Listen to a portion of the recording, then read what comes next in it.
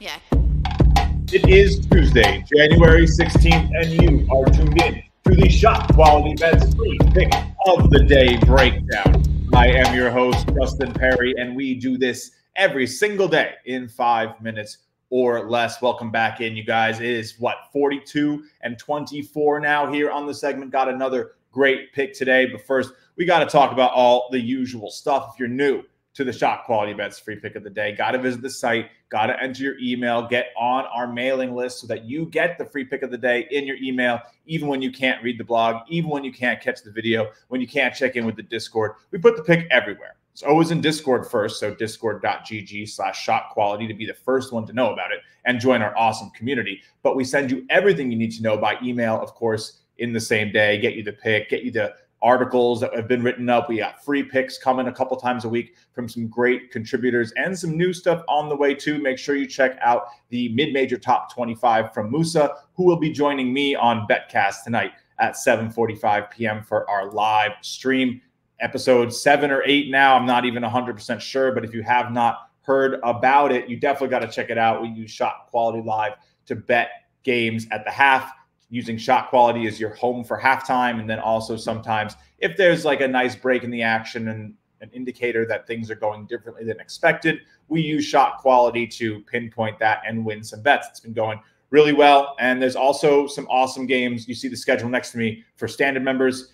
Honestly, that 15 and 2 battle between Samford and Western Carolina is going to be a lot of fun, but you get some Big East action. You get some SEC action to start things off at 5 p.m. and then end the night in the Mountain West with Utah State and New Mexico. Of course, the free pick of the day on the Big 12 matchup between the Baylor Bears and the Kansas State Wildcats will always be the free pick or the free pick and the free live game of the day. Woo! It feels like a Monday, but it's not. Now, on to yesterday's pick, Monday's pick.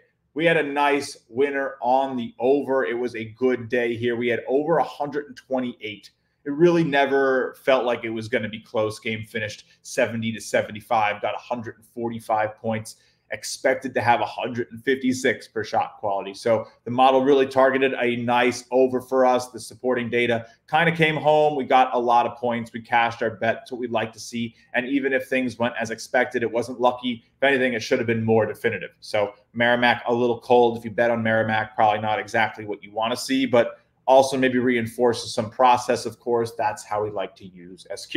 Now, this reinforces our process that these overs have been hitting. So let's get on to today's game. We're going to be going to Kansas State and Baylor, taking another over. We locked it in on the play of the day as 150 and a half. Can play it all the way to 153 and a half. The lines been going against us a little bit. We're not really too worried about it. Our shot quality projection has it at 75 to 77 here in favor of Baylor, all the way up at 150 points for this contest.